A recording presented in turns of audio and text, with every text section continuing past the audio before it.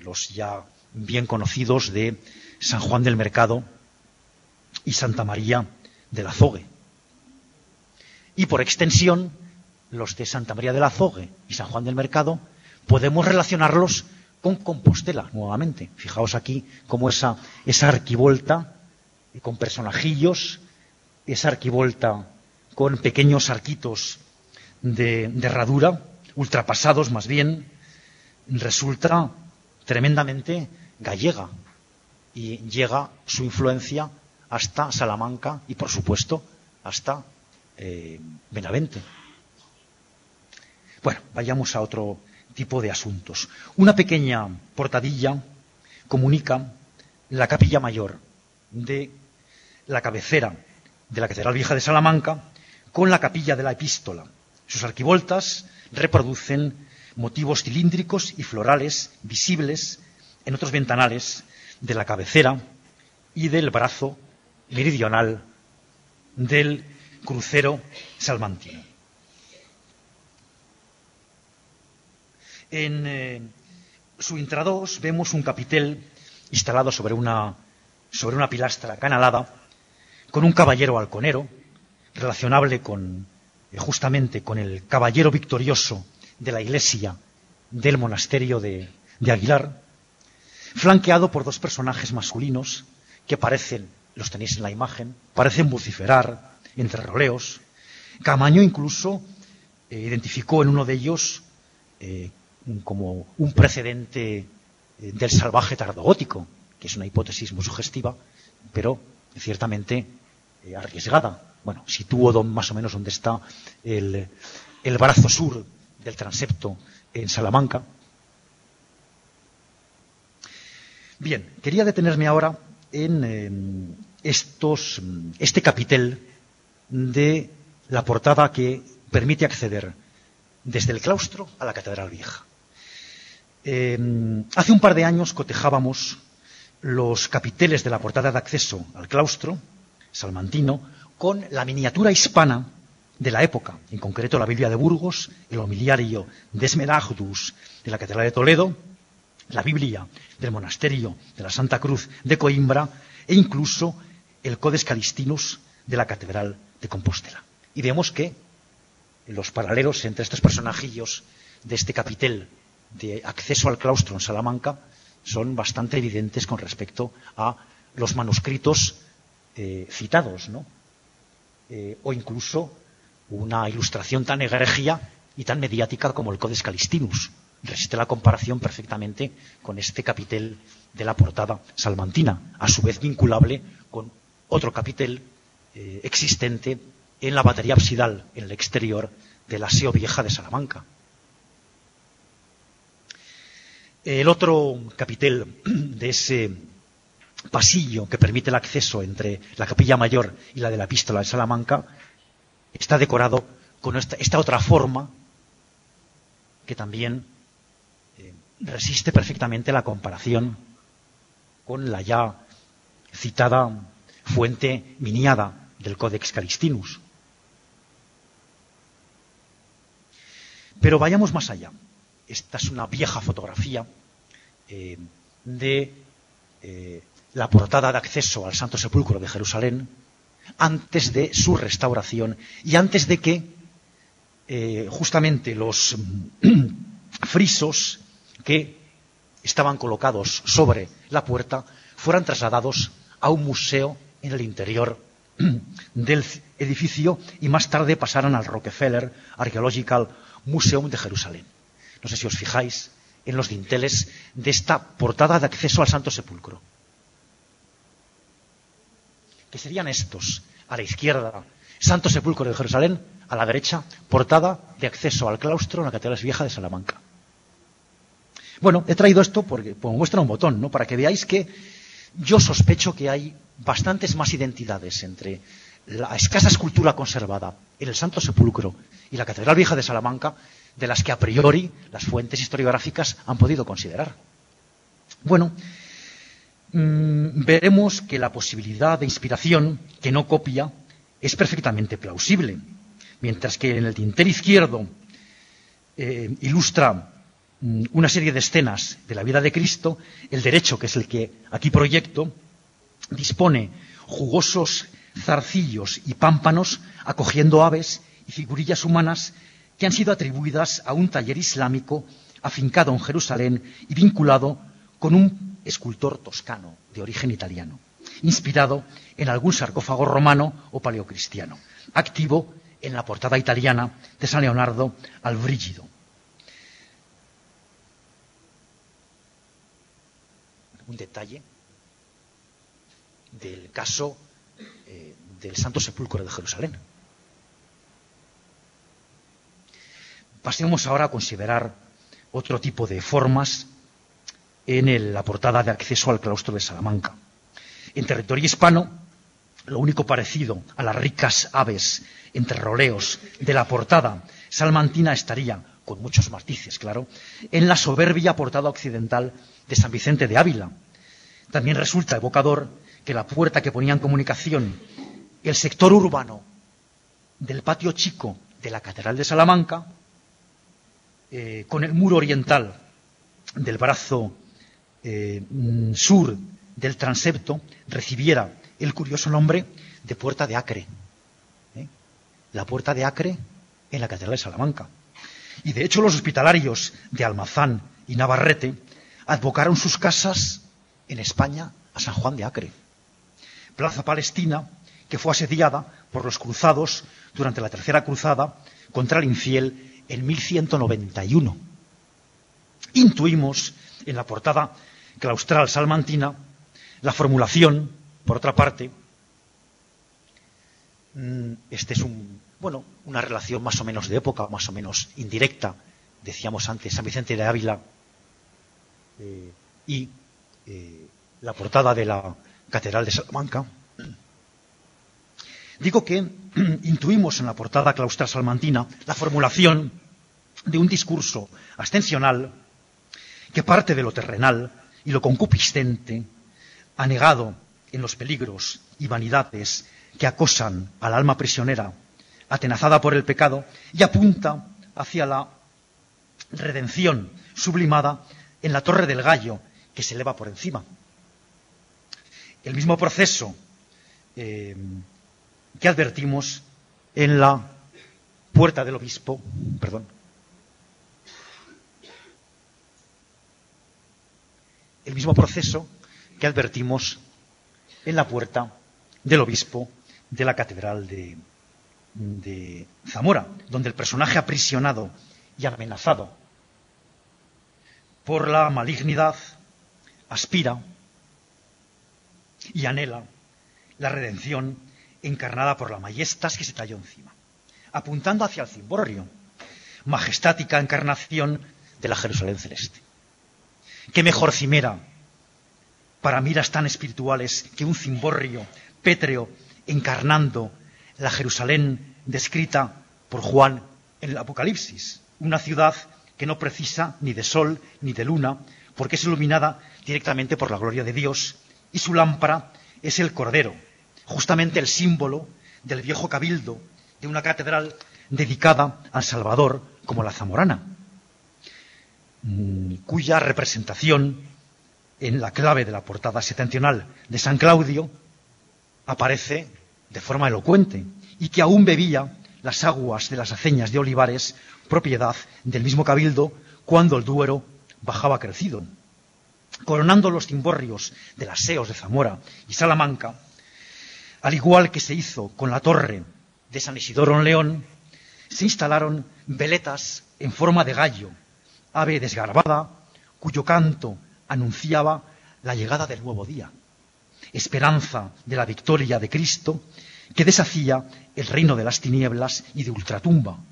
La presencia de gajos como los vistos en los cimborrios referidos resultó frecuente en la, además, ornamentación de muchas pilas bautismales, cálices eucarísticos y algunas tazas de fuentes como la del paraíso, de la porta francígena, gelmiriana, de Compostela. Eh, bueno, mm, eh, semejante porta francígena eh, aparece descrita en el Calixtino y en la historia compostelana, y resultaba, al cabo, fons vitae y paradigma penitencial, porque por allí entraban los exhaustos romeros, llegados justamente, eh, llegados justamente hasta la catedral compostelana, llegados ante el sepulcro santo, en cuya puerta contemplaban un programa centrado en el pecado original y en la expulsión de Adán y Eva del paraíso. El uno trabajará la tierra y la otra amamantará a Caín. Semejante discurso ascensional que sospechamos para las portadas y Cimborrio, Zamorano y Salmantino, percibía Sánchez Admeijeiras en el muro del brazo eh, norte del crucero de la Catedral de Orense, que tienen en la diapositiva, donde el letrado obispo Alfonso, que fue monje benedictino en Sagún, pudo auspiciar el diseño de un humilde usillo cuajado de esculturas, suerte de escenario o de reverberación en piedra para los milagrosos exorcismos que se llevaban a cabo en torno al sepulcro santo de Santa Eufemia, que estaba colocado junto al altar de la Catedral de Orense, concebido a modo de escalera de humildad, propia de la espiritualidad monástica, al estilo del speculum virginum o del ortus deliciarum, sinécdoque figurativa para ganar la eh, partida al demonio. Hay que ver que desde un tímpano inferior eh, está tallado la imagen de Daniel en el pozo de los leones, en la parte inferior. Veis a la derecha la imagen de Daniel en el pozo. Vemos también diversos personajes que se enfrentan a leones o arpías, que se asoman o intentan penetrar en los vanos del metafórico usillo ascensional que conduce hacia las torres y los tejados catedralicios. Bueno, la sala capitular de la Catedral de Salamanca, la capilla de Talavera, aparece documentada en 1243, si bien su acceso es mm, bastante curioso. Aquí tenemos el acceso a la sala capitular de Salamanca. Aquí encontramos otro horizonte escultórico bien distinto. Antes hablábamos de Compostela, hablábamos de Orense. Aquí vamos a hablar de San Salvador de Oña, un monasterio benedictino burgalés. Y es que los únicos puntos de comparación estilística del acceso a la capilla de Talavera de Salamanca pueden establecerse justamente con eh, San Salvador de, de Oña, en la provincia de Burgos. Aquí tenéis lo que queda del acceso a la sala capitular de Oña, emparejable también en los cimacios, ¿eh?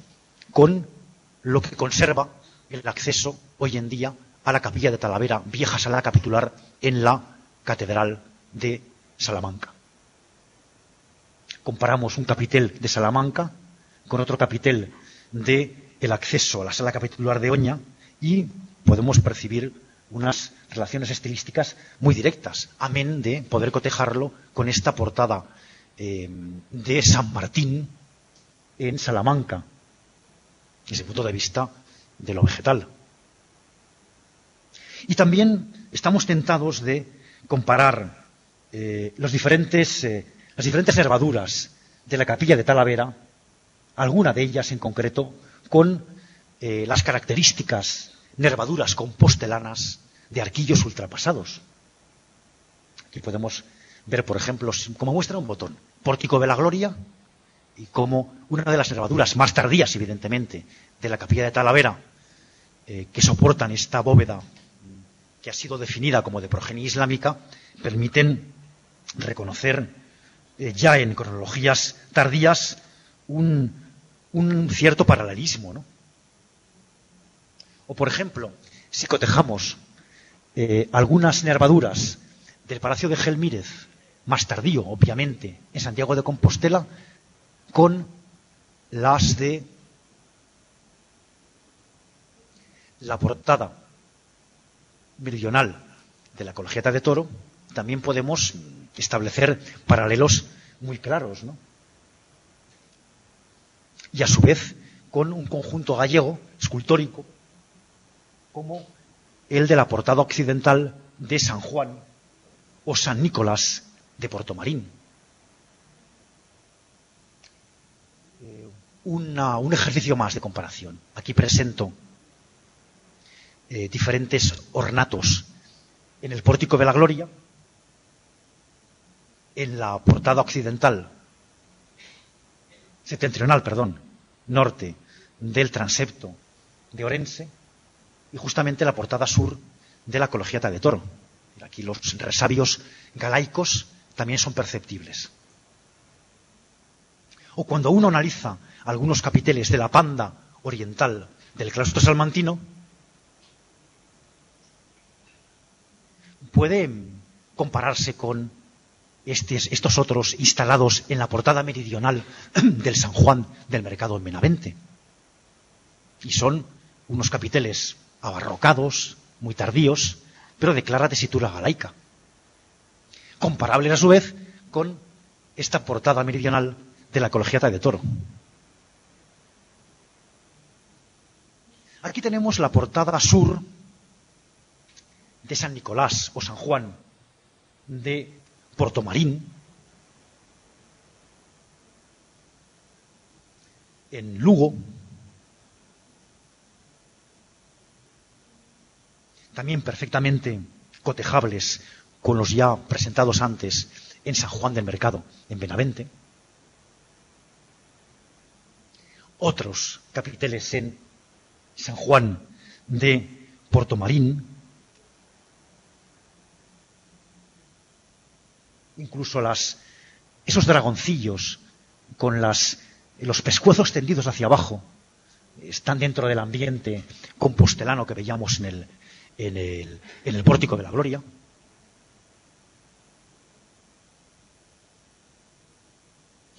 Y como no, el mismo ambiente que vemos entre la fauna que asoma en los trilóbulos del sepulcro de la Magdalena.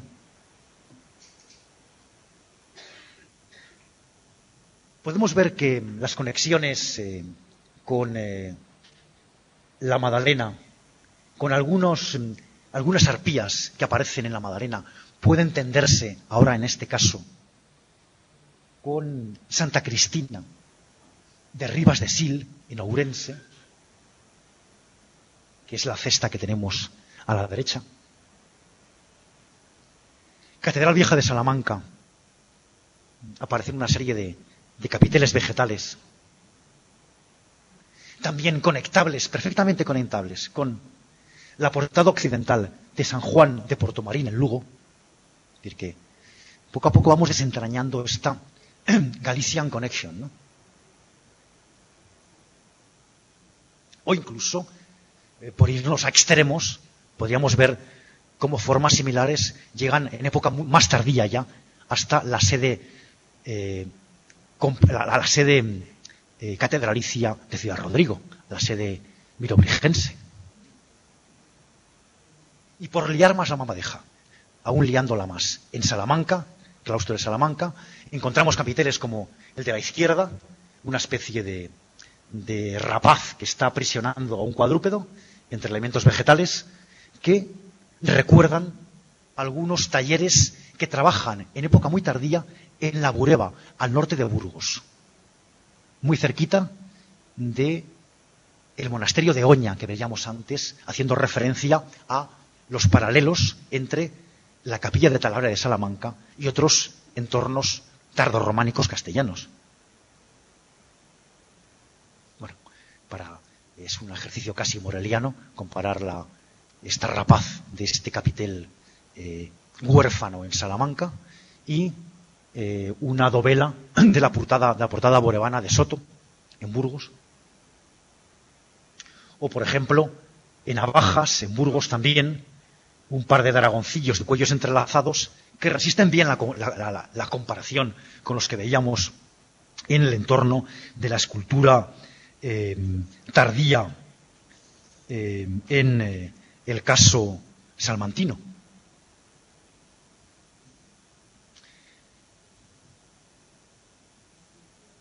Bueno, aquí paso rápidamente una serie de imágenes del claustro viejo de Salamanca, un capitel una, en la parte superior izquierda,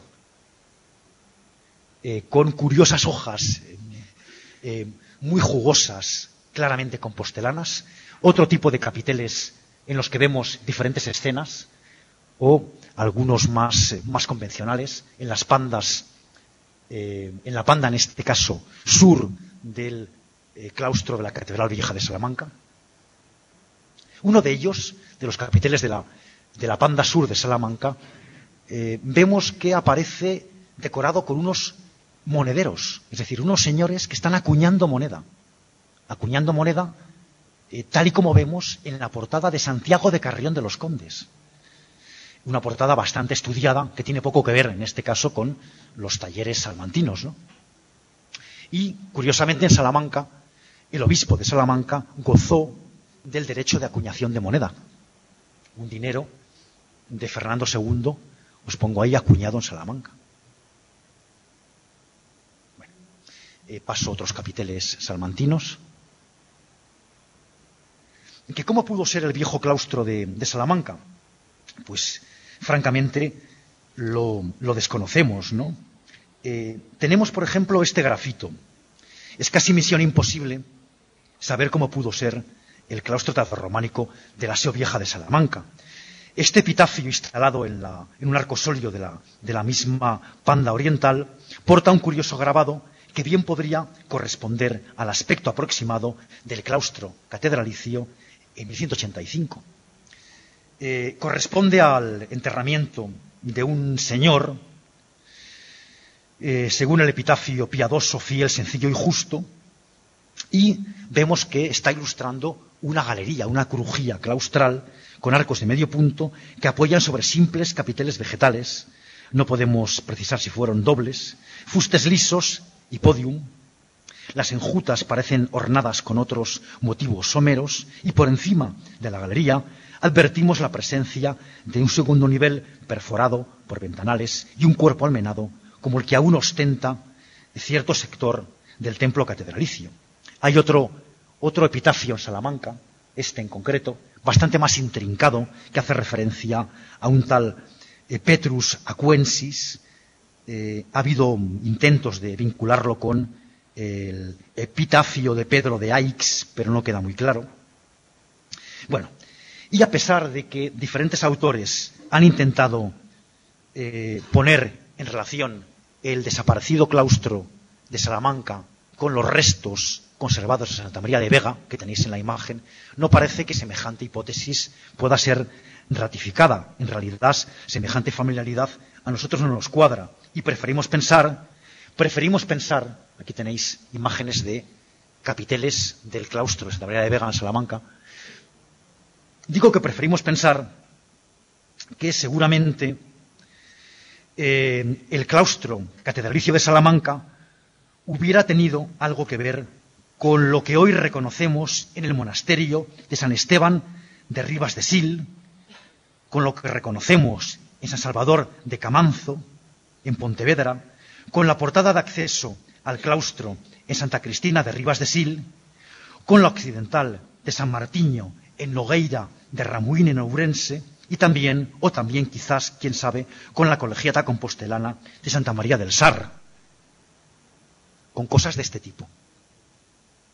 Ahí tenéis San Salvador de Camanzo, la portada occidental de la iglesia de San Salvador de Camanzo también, con unas mochetas claramente gallegas, que tienen mucho de Benaventano también.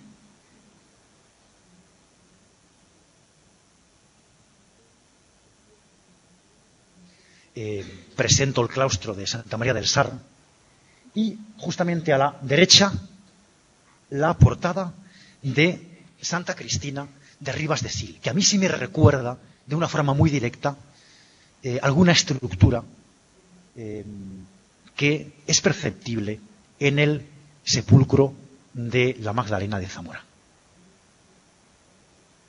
Otro resto, otra portadilla eh, conservada en Santa Cristina de, en Rivas de Sil, en Ourense. Un rosetón claramente emparentable con lo benaventano Y si este rosetón lo cortamos por la mitad, tenemos una portada de la ventana. Eh, más testimonios que conectan lo benaventano con lo gallego. En eh, Ayariz y en San Juan de Santalés.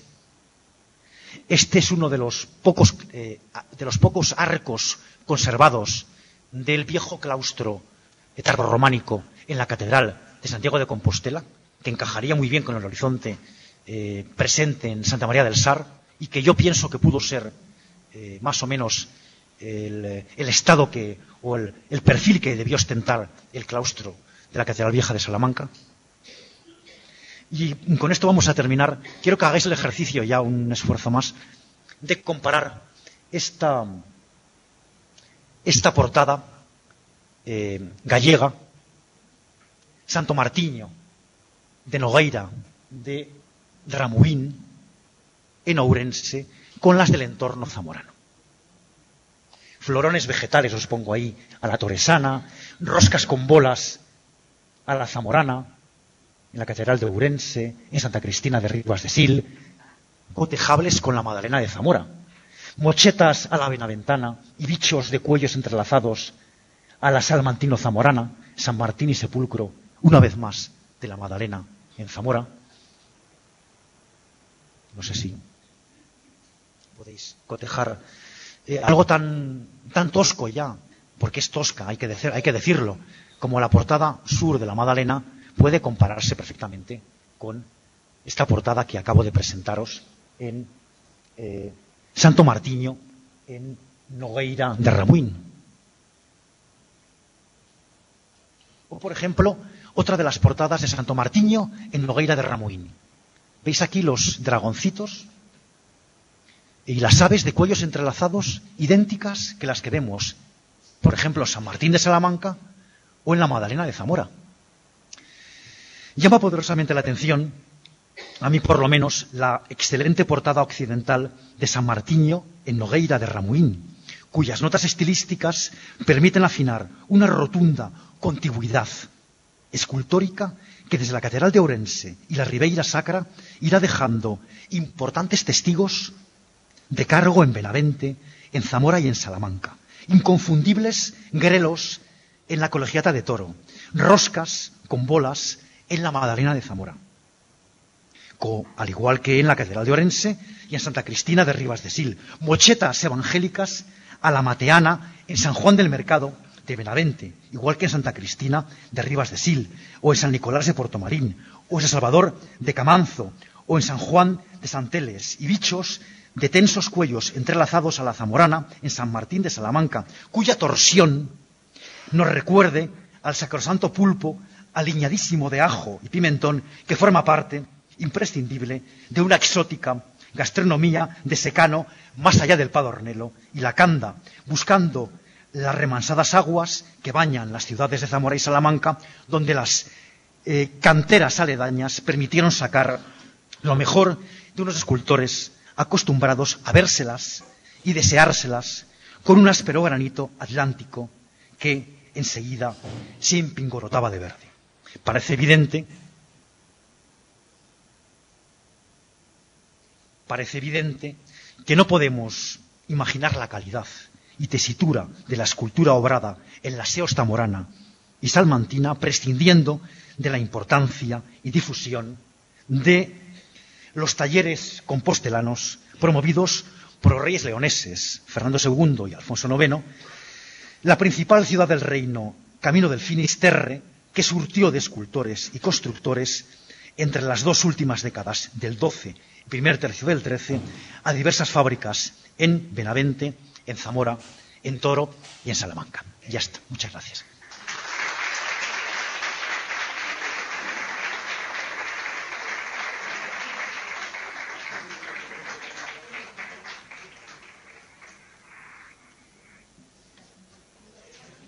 Bueno, si alguien quiere preguntar algo, pero imagino que estará deseando salir corriendo. Yo lo, lo lamento, voy a haberme extendido tanto.